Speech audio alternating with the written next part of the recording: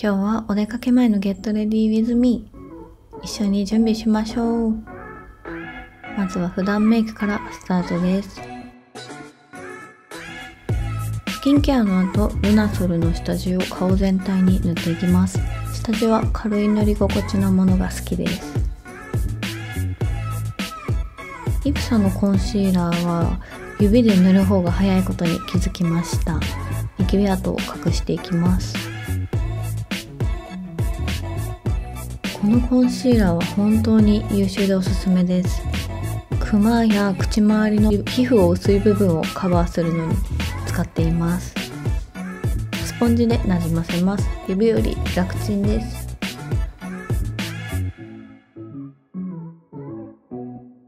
先ほどコンシーラーカバーしたい部分をしっかり隠したのでパンでは本当に薄く必要最低限にしています。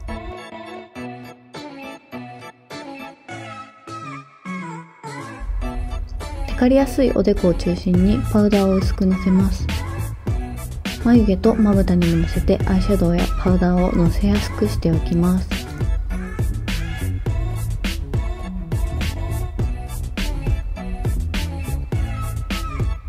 ハイライトは目頭横のくぼみにここに光があると肌が綺麗に見えます。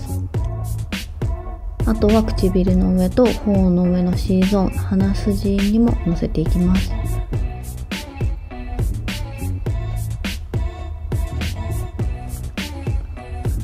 眉は細いペンシルで毛を足すように描いていきます。最初に眉のアウトラインから描いていくとバランスが取りやすいです。自眉が垂れてやがるので描くのが本当に難しいんです。このペンシルアイブロウペン先がすごく細いので細いのにしっかり色が出るのでおすすめです。なくなったらリピートする予定です。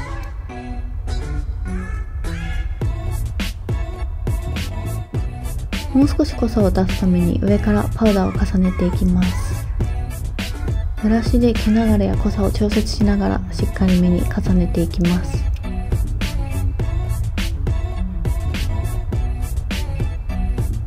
花粉症。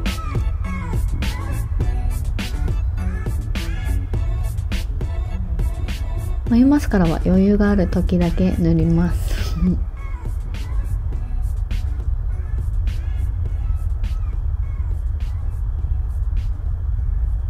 こちらは最近のお気に入りのアイシャドウパレットです。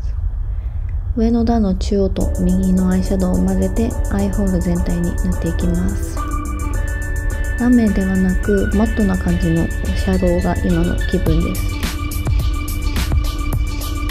結構広めにのせちゃっています。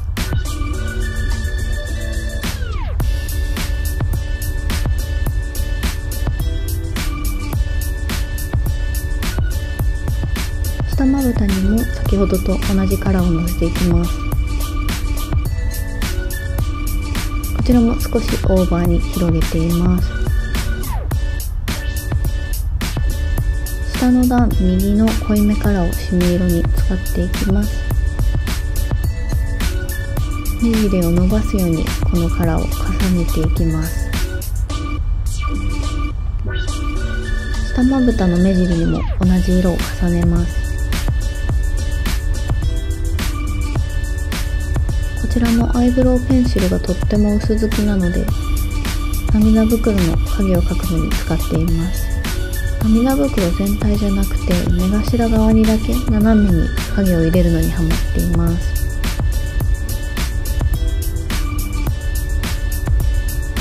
普段メイクには失敗が少ないペンシルタイプのアイライナーを使っています。結構長めに目尻を炎上させるのが私のこだわりです。余裕がある時はまつげの隙間を埋めていきます。でも本当にまるであんまり埋めない。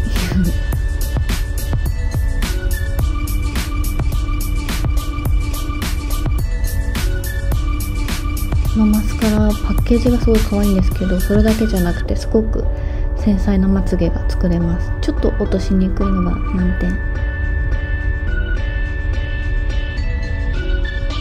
下まつげはこちらのマスカラの方が使いやすいのでこっち黒目の下を中心にブラシを縦にして塗っていきます。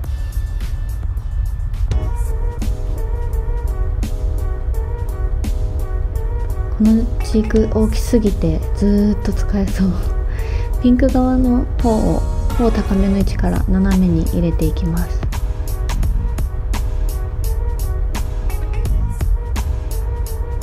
最近ハマってるヘラ。こちらのグロスはスースーするミントみたいな塗り心地です。ランジェリーというカラーです。肌なじみが良くてすごく可愛い色。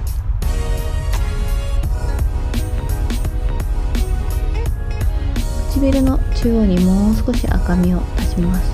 こちらも可愛い色でとってもお気に入りです。メイクはこれでおしまい完成です。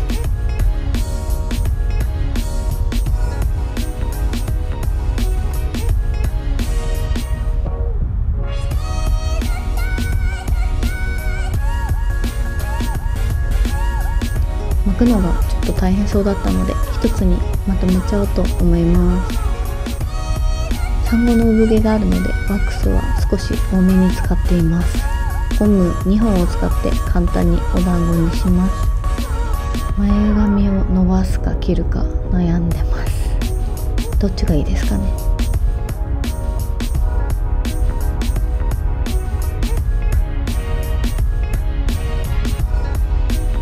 結びきれなかった髪をピンで留めます。ショートカットにしてからお団子ができるまで伸びるようになりました。伸びるように？伸びました。あんまり綺麗にまとまってないけどまあラフな感じでいいか。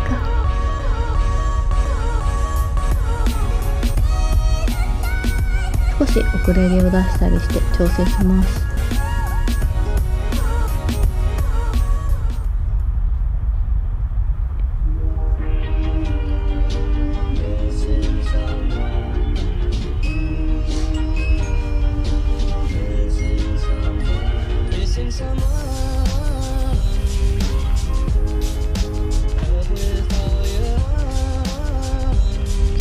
変わり目なのでコーデを決めるのに少し時間がかかっちゃいます。春は柄物が着たくなりますね。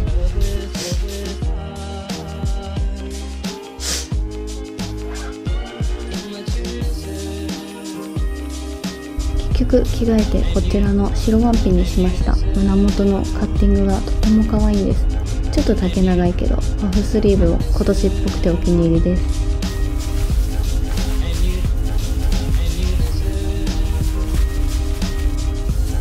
大好きなトレンチの季節。ゆるっとした軽い素材のトレンチです。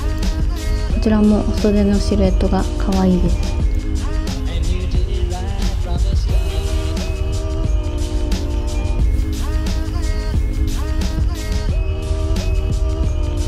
首元が開いているので珍しくネックレスをつけました。細いチェーンのネックレスです。